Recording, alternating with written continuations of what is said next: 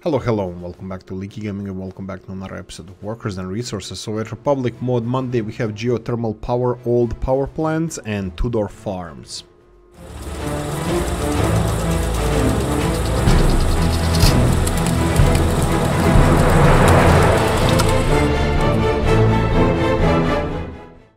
Farms being farm singular. Okay again of course uh, there's a lot of beautiful modes guys. There especially maps especially maps this mod monday.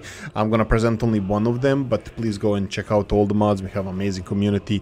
It's full of wonderful wonderful stuff. Adds so much to the game so go and check out the steam workshop and uh, get yourself something nice this monday. So first things first small courthouse by robs 074 it's a small courthouse based on the real building in Lublin, Poland, employs 20 workers with basic education and 12 judges. Right, classic small classic robs. Of course it comes with all the different skins that you can imagine uh, that robs usually makes them with. So you have really large variety of choices there from red buildings to yellow ones to whatever ones. Right what about the cost of the building? So if we go to our if we go to our courthouses, we're gonna see the courthouse here 21,000. It's uh, less than half the price of the big courthouse, but as you can see, material-wise, it's definitely just a fraction of the actual build co uh, big courthouse. This is, for, of course, for your small towns, and of course, as Robs usually makes them, this is quite price realistic, so definitely gonna see this in my Let's Plays. Right, a large Tudor-era farm includes stables, 30 horses, features rapid dispatch, allowing multiple vehicles to come and go at once. That's a large Tudor farm from Mr. Novu. Uh, added Tudor barn, added horse feeding yard, added horseshoe monument. Right, so this is uh, this is classic farm. Of course, uh, I don't have uh, I don't have actual horses here to show you how it works. I don't think I have steam engines, but you have horses as well uh, that you can put in here, and of course you have the um, uh, horse feeding yard over here. And of course we have the uh, additional storage additional storage for well it would be for your crops but it, you can store multiple stuff here. You can use it if you want to build Tudor style city as well for other uh, storages or infrastructure. And of course this is the farm. Of course this is the Tudor style. Mr. Novo usually has a lot of mods like this so you have to go and check out the rest of them. This is just the farm. How does it compare? I don't think we can even compare this to anything but let's try, let's try. We have a small farm over here. Large Tudor farm would be 29,000. 29, that's impossible. It's actually quite expensive. So we have uh, 29,000 for this Tudor farm and it's more expensive than the small. It's it's more or less the same price as the medium-sized farm. Wow, prices for uh, farms were pricey back then. Well, the reason why we're saying these things is we usually like to check that uh, the farm is not cheated. That means uh, too cheap. Uh, in this case, definitely this is not too cheap. This is more expensive than the rest of the farms. So, well, it, it's above average price wise so if you want to have something nice like this you're gonna have to pony up those sweet benjamins or rubles in this case. Uh, right more more information the link in the description of the video. Right i thought this was fictional. No. So this is again mr novo let's stick to mr novo for now. Geothermal power station based on a geothermal uh, power plant in utrecht in the netherlands. It produces electricity with no pollution or fuel inputs. Expensive to build but its size uh, for its size but cheap to maintain. Has 3 megawatt output. Um, added and reskinned version 2 added heating plants. Right so these are the power plants slash heating plants. What do they require? They require 10 people to operate and normal workers and they produce uh, they produce energy, in this case heat, uh, in this case electricity, out of thin air, which is fine. I have absolutely nothing against that. This is perfectly fine in my book. I I tend to use these. Uh, we're gonna check the price and everything else. So, okay, I thought this was fictional. I didn't even know that this is actual real building, but yeah, I checked. It's a real building. It's a geothermal power plant. Uh, this uh, in real life, I'm not sure what they produce, but this one you, you have we have two versions: stone ones for electricity and heating, and then we have this is this supposed to be metal one or concrete? It's a red color. Uh, I'm gonna go with metal. This is supposed to be metal. So we have these metal uh, geothermal power plants. Of course, they have the same 36 gigajoules of heat. That's not really that much. Uh, big power plants, I think they have uh, like 300 and something gigajoules of heat. So you're gonna need quite few of those. And of course, they're not uh, cheap to build. We're gonna check the price soon. So right, we have power plants, we have heating plants, some something that you, if you want to make your your air cleaner and you know not, not to have so much pollution uh, we have options there are other geothermal power plants but these are mr novus right so if we go and see how much they cost, we can find them over here. So we have geothermal power plant, 75,000 rubles. Normal power uh, heating plant is uh, 21, 210 uh, gigajoules of heat and costs 57,000 rubles to build. Uh, these guys are 15% power. You're gonna have to have like seven of those. Uh, to, to, compare it to this one, and it's more expensive. Even one is more expensive than the than than the than the heat uh, than the heating plant. So um, they are they have clean air but they are quite quite pricey. Actually you know what? Let's check what uh, they cost what they cost with materials. Materials you need a lot of work days 70 tons of steel 3 tons of electrical components 120 tons of concrete and 10 tons of mechanical. Yeah this is fair. This is really nice. I quite I quite support this. This is really ingenious. Again, Mr. Novu Classic, his his um, work is well known here. The, it, it's really, really good. I really like this. It's uh, thought out, the price is fair, and plus materials that you need, it's just not just pile up a lot of materials just to make it uh, expensive, but actually uh, makes sense these materials that are being used for this construction. So definitely something that you're gonna see in model my Let's Plays. Now if you wanna go and check out the, well we can compare the electricity as well, but I don't think there's point to this. But um, uh, I believe they are the same price. Uh, real quickly 77,555 um, they're a little bit cheaper than power plants but as you saw they produce only 3 megawatts of electricity um, only 3 megawatts of electricity uh, so you need to have seven of those to to to be competitive with the with the coal power plants and seven of these cost half a million rubles and one power plant costs only 230,000 rubles. So it's much cheaper to use dirty energy just a heads up on that. So it's quite fair price wise description of the video for more details Mr. Mordi Slovakian and Central Bus Terminal, large bus station including four platforms for 1000 passengers, perfect for huge cities. My ass, it's perfect for any city. Um, it's perfect for leaky cities. Uh, right, it says that it has four platforms, but looks like it has it has four platforms. Technically, this looks like a platform as well, so it would be a fifth one, maybe. Uh, also, it looks like it has slots for nine different buses at the same time. This is really, really good. Definitely, I love the design. Look at the staircases going from the waiting room rooms up here in the uh, elevated uh, waiting rooms here, probably. I'm pretty sure that uh, at least passages or maybe maybe just elevated passages, but uh, it looks really, really beautiful. Um, this is, of course, my favorite mod this mod Monday. Oh, look at the, the benches here for the people waiting for the buses. Also really, really cool. Uh, how, do, how much does it cost? How much does it cost? So if you go to bus platforms, normally bus platform costs 3,700 and 10,000 rubles. More these, more this bus platform costs 31,000 rubles. So it's not cheap. It's, uh, it's more expensive than vanilla ones, which is exactly the point and uh, this is something that you're gonna see in my let's plays definitely you're gonna definitely see this in my let's plays look how much bigger it is from a vanilla one really really beautiful model link in description of the video Mr. Robs and Police Station. Police Station, based on a real building in Gdańsk, Poland, employs 9 workers with basic education and 18 investigators. Can be equipped with 4 vehicles. Uh, there's description in Polish as well. Now, of course, Rob's mod, I'm pretty sure it's fair in price. We're gonna check that anyway. And of course, uh, it's, uh, it should be fair in price. And of course, it comes with all the different skins that you wish, all the different colors, dark, dark gray, light gray, and of course, you have colorful models with beige or whatever the colors are. I, am bad at it. Uh, anyway, no red, no red, really? Well, this is kind of red-ish. Uh, no, this this is kind of red. Okay, let's call it that this is red. Uh, comes in red color as well. Okay, let's check the price. If we go to the government buildings, we have a police station. This is the new police station, 14,000, 15,000 rubles. It is uh, half the price of the vanilla one, but it has also, um, it's much, much smaller yeah, this actually looks like it should be more expensive. Look how big this building is. It's only twice the price of, the, of, of this police station. Anyway, of course, as usual, quite realistic, and we're to see this in my Let's Plays. Polish Flats Pack by Negabs Kezui.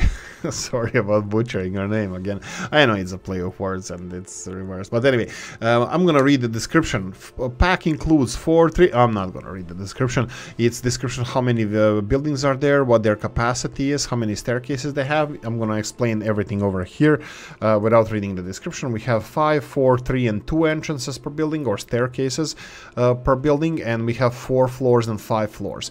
Now, why this? Why this mod? Because I freaking lived in one of these buildings. Well, quite quite similar. It was actually a little bit bigger. It was like this size, and it had only two entrances. Maybe this size with two entrances, it would be something like that. And it had freaking 80 apartments. I believe it was 80 apartments in the whole building. It, it, was enormous. I mean, like, it, it's enormous. They were really small apartments, but they were really, really... Um, I like them. I like living there. For single people, even for two people living there, it would be Ooh, amazing. Anyway, uh, these buildings uh, are beautiful. I, I, love them and it's definitely one of my favorite mods and I'm gonna be using it in my Let's Plays. Okay, what about the buildings itself? They have more or less calculated six apartments per floor. And we're gonna take the smallest one in calculations. So if we have 48 people uh, in a building by two, because usually two people will live in an apartment, so that would be 24. And divided by four, that would be six. Six per floor. Six, uh, six apartments per floor. How did I, how they are uh, arranged, I really don't know, but it doesn't really matter. Maybe one entrance has actually smaller apartments and the other entrance has bigger apartments, so it would be four on this side of the building and only two on the other side. I don't know, maybe it's a little bit more luxurious setup. Anyway, uh, they go all the way to 150 people for the biggest buildings. Of course, uh, we can compare them to something in vanilla. So for example, we have uh, flats, bricks, would this be? Yeah, something like this, for example. It's similar size, but it has a little bit bigger capacity how does this work? Looks like it's a little bit more compact because this building that I'm uh, holding it's four floor and this one is five floor. They look quite similar though. Interesting, quite interesting. Uh, this could be Stalinka style with the higher roofs, but anyway, uh, let's see uh, what we have here. This is again 100 and here we go 143 people. So 11,000 11,000 rubles. Of course it takes a much more uh, space. The, the uh, this building takes a little bit more space. So it's gonna it, it is a downside. Well how much does it cost? The biggest of these buildings they cost 9000 rubles. So it's quite comparable to the vanilla building. So it's definitely not a cheaty mod link in description of the video for more details and Old Power Plant 1930s by Marius. Coal power plant which employs 26 workers producing 12 uh, 0.6 megawatts historical data. It provides high voltage and two low voltage connections. So that's one high voltage and two low voltage connections. It uses aggregates uh, conveyors linked to the main input to vehicle stations as auxiliary. It might be useful to, as a medium plant for early stages of the game, not too expensive for uh, nor too much consumption for the for the historical time frame, but quite considerable pollution also have the high voltage transformer building uh, added to work as a standalone, the role yada yada yada, I'm gonna show you all of this. Little story, it was modded at approximately, you know what? No, it's from northern Spain. Oh wow, I didn't know that. But anyway, I'm gonna tell you this. Go and read more description. The link in the uh, in the link is in the description of the video.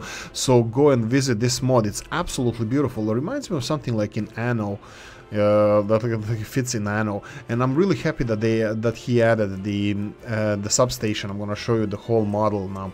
So you have two different uh, you have two different uh, buildings. It's a power plant over here. It's 126,000 rubles, 125,000 rubles, and substation is three uh, 3,500 rubles. So if you want to build your starter city, it doesn't even have to be early start. It could be normal start, but this could be one of your first power plants there, because you know you don't have to build it then. It was built in 1930s you just uh, inherited the, the power plant. So it's really really good for your um, realism gameplays and if you want to do something like that. But anyway uh, really really beautiful model like I said and we're gonna just compare the prices of this. So we have again prices 124,000 I can tell you straight away that it's half the price of the of the big power plant. If we go for power plants the big one is 243,000, let's say 250,000, so this is half the price of this one. And production is a little bit more than half, because this one has, no, no, no, it's half actually. It has 24 megawatts, I believe, the other one, or 21. Yeah, you need to correct me if I'm wrong here. But anyway, it's it's quite it's around half of the production. And let's see the consumption. 20 tons of coal is consumption, while the vanilla one, the bigger one, would be 24 tons of coal. So you can see, yeah, you can see that it's more or less half of the, a little bit more than half of the production, but it consumes almost the same amount of coal. So it will produce pollution as well, significant pollution. I'm just gonna see if we can see from here, power plant. Uh, the pollution is 35 tons per year while the vanilla one is 39 tons a year. Yeah, it's significantly more consumption of coal and significantly more pollution, well, per production. So it's it's really really dirty, but hey ho, you know, yeah, somebody has to pay the price. Why not your people? Anyway, uh, realistic price, beautiful model, amazing mod, uh, definitely one of my favorites, guys. Check out the link in the description of the video. Right, I give you Jena, Thuringia, Germany by Arkin45.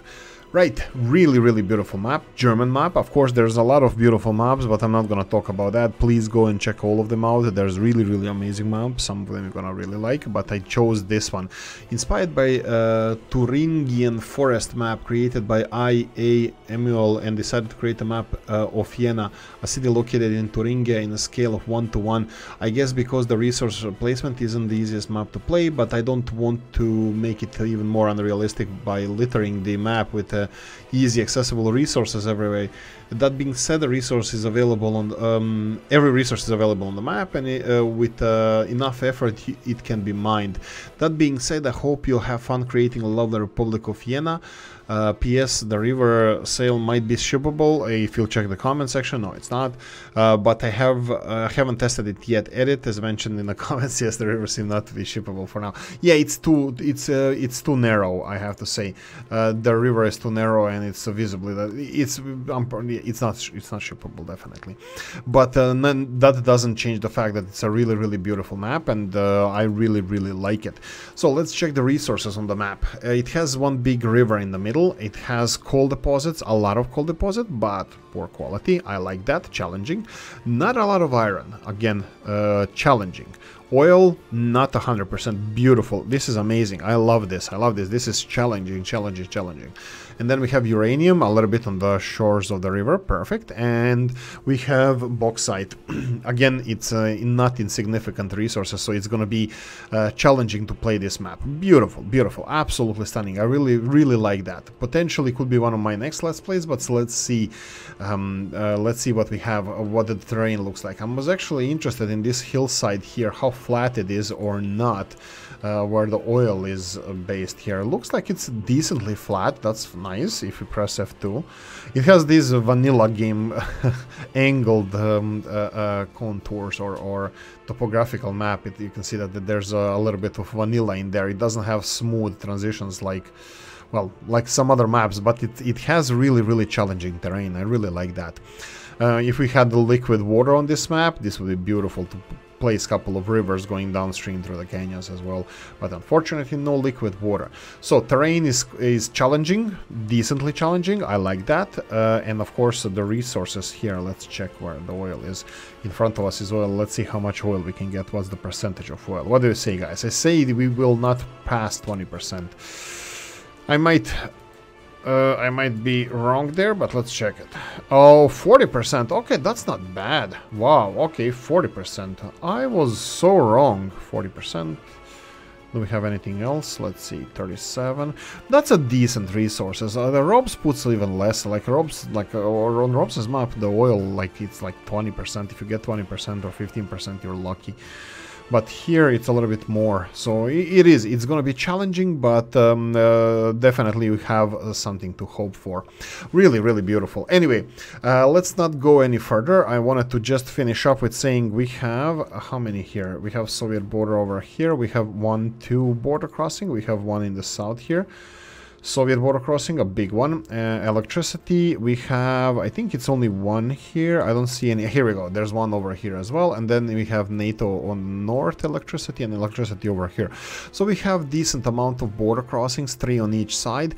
Uh, some of them have uh, railroad connections, some of them don't. Let me check these two Soviet ones, which are the more, more most important ones. Uh, this one doesn't have. And the last one over here it doesn't have as well. So you have only one railroad crossing. But that's fine. That's perfectly fine. Anyway beautiful beautiful map by arkin45 go and check it. It's link in description of the video. And i really hope you enjoyed this one. If you did guys don't forget to press the like button. If you didn't you have always option to put a nasty comment in the comment section. Let me know what you think. Like subscribe notification bell ring it comment section hit it. And if you want to support the channel you always have description of the video. Guys happy monday and i'm gonna see you in the next one. Bye bye